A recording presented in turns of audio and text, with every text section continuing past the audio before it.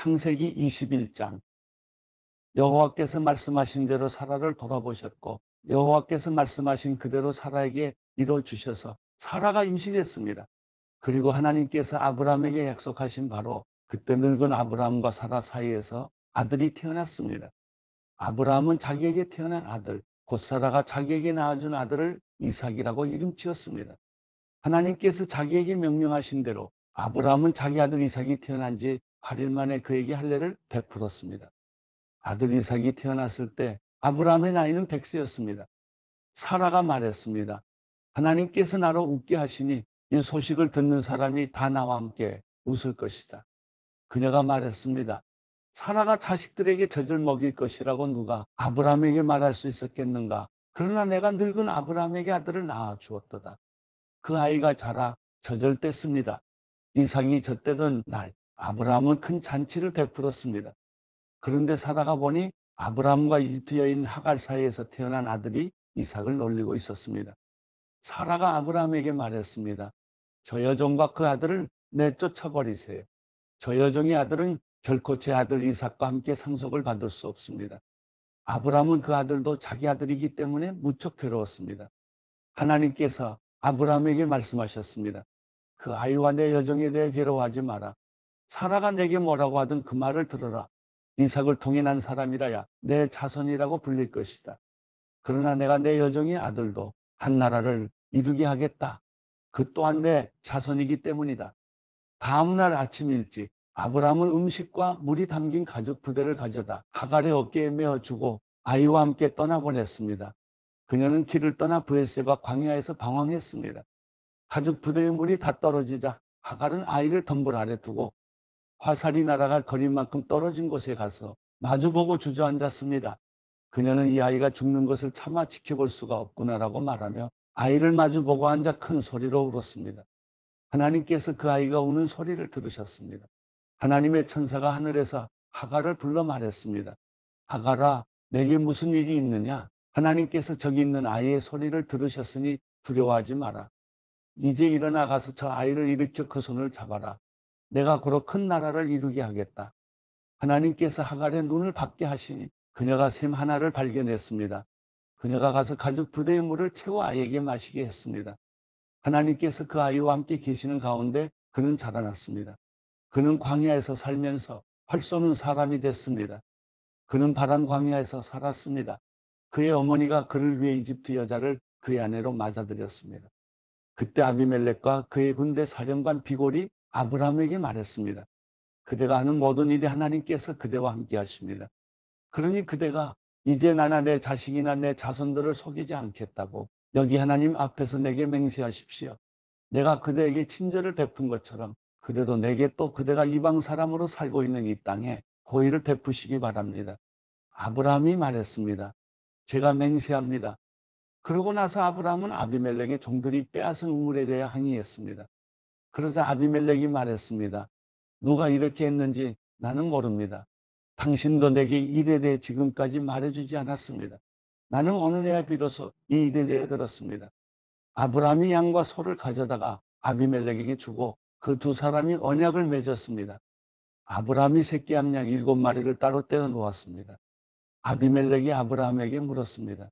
당신은 왜 새끼 암양 일곱 마리를 따로 놓았습니까? 아브라함이 대답했습니다. 이 새끼 암양 일곱 마리를 제 손에서 받으십시오. 이것으로 제가 이 우물을 판 증거로 삼으십시오. 거기서 이 두 사람이 맹세했기 때문에 그 장소를 부엘세바라고 불렀습니다. 부엘세바에서 언약을 맺고 난 후 아비멜렉과 그의 군대 사령관 비골은 블레셋 족속의 땅으로 돌아갔습니다. 아브라함은 부엘세바에 에셀 나무를 심고 그곳에서 영원하신 하나님 여호와의 이름을 불렀습니다. 아브라함은 블레셋 족속의 땅에서 오래 머물러 살았습니다. 창세기 22장 이런 일이 있은 후 하나님께서 아브라함을 시험하셨습니다. 하나님께서 아브라함에게 말씀하셨습니다. 아브라함아 그가 대답했습니다. 예, 제가 여기 있습니다. 여호와께서 말씀하셨습니다. 내 아들, 내가 사랑하는 내 외아들 이삭을 데리고 모리아 땅으로 가서 내가 내게 지시하는 산에서 그를 번제물로 바쳐라. 아브라함이 다음 날 아침 일찍 일어나 마귀의 안장을 얹고 하인 두 사람과 그 아들 이삭을 준비시켰습니다. 번제에 쓸 나무를 준비한 후 하나님께서 지시하신 곳을 향해 떠났습니다. 3일째 되던 날 아브라함이 눈을 들어 그곳을 멀리 바라보았습니다. 그가 하인들에게 말했습니다. 너희는 나귀를 데리고 여기 있으라. 나와 아이는 저기 가서 경배한 다음 너희에게 함께 돌아오겠다. 아브라함이 번제에 쓸 나무를 자기 아들 이삭의 등에 지웠습니다. 자기는 불과 칼을 들고 둘이 함께 걸어갔습니다. 이삭이 자기 아버지 아브라함에게 말을 걸었습니다. 아버지 아브라함이 대답했습니다. 왜 그러느냐? 내 아들아. 이삭이 말했습니다. 불과 나무는 여기 있는데 번제로 드릴 양은 어디 있나요? 아브라함이 대답했습니다. 내 아들아, 번제로 드릴 양은 하나님께서 친히 준비하실 것이다. 두 사람은 함께 계속 길을 갔습니다. 그들이 하나님께서 말씀해 주신 곳에 이르자 아브라함이 그곳에 재단을 쌓고 나무들을 잘 쌓아 올렸습니다. 그런 다음 자기 아들 이삭을 묻고 재단 위에 쌓아놓은 나무 위에 눕혔습니다. 아브라함이 손에 칼을 들고 아들을 죽이려고 했습니다. 그때 여호와의 천사가 하늘에서 아브라함을 불렀습니다. 아브라함아, 아브라함아. 그가 대답했습니다. 제가 여기 있습니다. 천사가 말했습니다. 그 아이에게 손대지 마라. 그에게 아무것도 하지 마라. 내가 내 아들, 곧 내 외아들까지도 내게 아끼지 않았으니 이제 내가 하나님을 경외하는 것을 내가 알았노라. 아브라함이 눈을 들어보니 순양 한 마리가 덤불에 뿔이 걸려 있었습니다. 아브라함은 가서 그 양을 잡아 자기 아들 대신 번제물로 드렸습니다. 그리고 아브라함은 그곳을 여호와 이레라고 불렀습니다. 그래서 오늘날까지도 사람들이 여호와의 산에서 준비될 것이다라는 말을 합니다. 여호와의 천사가 하늘에서 두 번째로 아브라함을 불러 말했습니다. 여호와의 말씀이다. 내가 나를 두고 맹세한다. 내가 이렇게 내 아들, 곧 내 외아들을 아끼지 않았으니 내가 반드시 내게 복을 주고 반드시 내 자손을 하늘의 별처럼 바닷가의 모래처럼 많아지게 하겠다. 내 자손이 원수들의 성문을 차지할 것이다. 내가 내 말에 순종했으므로 내 자손을 통해 이 땅의 모든 민족들이 복을 받을 것이다. 아브라함이 자기 하인들에게로 돌아갔습니다. 그리고 그들이 일어나 다 함께 부엘세바로 갔습니다. 아브라함은 부엘세바에서 살았습니다. 이 일이 있은 후 아브라함에게 이런 말이 들렸습니다. 밀가가 그대의 동생 나홀에게 아들들을 낳았습니다. 맏아들 우수와 그 동생 부수와 아람의 아버지인 그무엘과 게색과 하소와 빌다스와 이들랍과 부두엘이 그들입니다. 부두엘이 리브가를 낳았습니다. 밀가가 아브라함의 동생 나홀에게 여덟 아들을 낳았습니다. 그의 첩의 이름은 루마였습니다. 그녀도 데바와 가함과 다스와 마가를 낳았습니다. 창세기 23장 사라는 127세까지 살았습니다. 이것이 그녀가 누린 수명이었습니다. 그녀는 기리앗 아르바 곡가나안 땅 헤보론에서 죽었습니다. 아브라함이 가서 사라를 위해 슬퍼하며 울었습니다. 아브라함이 죽은 아내 앞에서 일어나 나와 햇사람들에게 말했습니다. 저는 여러분들과 함께 사는 이방 사람이면 나그네입니다. 죽은 제 아내를 장사 지낼 수 있게 여러분들의 땅을 제게 좀 나눠 주십시오. 햇사람들이 아브라함에게 대답했습니다. 내 주여 들어보십시오.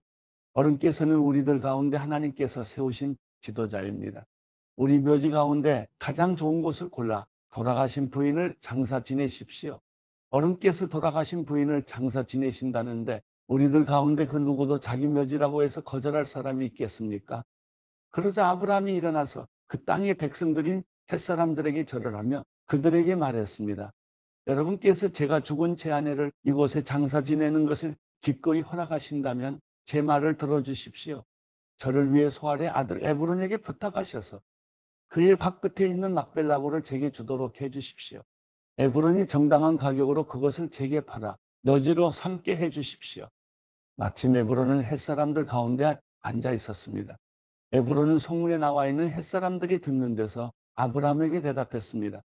아닙니다. 내 네, 주여, 제 말 좀 들어보십시오. 제가 그 밭을 어른께 드리고 그 밭에 있는 굴도 드리겠습니다. 제가 제 백성들 앞에서 그것을 어른께 드릴 테니 어른이 돌아가신 부인을 장사 지내도록 하십시오. 아브라함이 그 땅의 백성들 앞에서 절을 했습니다. 그리고 그 땅의 백성들이 듣는 데서 에브론에게 말했습니다. 만약 당신이 그렇게 하고자 하신다면 제 말을 들으십시오. 제가 그 밭에 값을 치를 테니 제게서 그 값을 받으시고 제 죽은 아내를 거기에 장사 지내게 해 주십시오. 에브론이 아브라함에게 대답해 말했습니다. 내 주여 들어보십시오. 그 땅은 은 400세겔이 나가지만 저와 어른 사이에 그런 게 무슨 소용입니까? 그냥 어른의 돌아가신 부인을 장사하십시오. 아브라함은 에브론의 말에 따라 에브론이 햇사람들이 듣는 데서 말한 밥값으로 상인들 사이에서 동용되는 무게로 은 400세겔을 달아주었습니다. 그래서 마무리 근처 막벨라에 있는 에브론의 밭, 곧 그 밭에 있는 굴과 그 밭의 경계선 안에 있는 모든 나무가 성문에 있는 모든 햇사람들이 보는 앞에서 아브라함의 소유가 됐습니다. 그 후에 아브라함이 가나안 땅 마물에 곧 헤브론 한 막벨라 밭의 굴에 자기 아내 사라를 장사 지냈습니다. 이렇게 해서 그 밭과 그 밭에 딸린 굴이 햇사람들에게서 아브라함에게로 넘어가 그의 묘지가 됐습니다.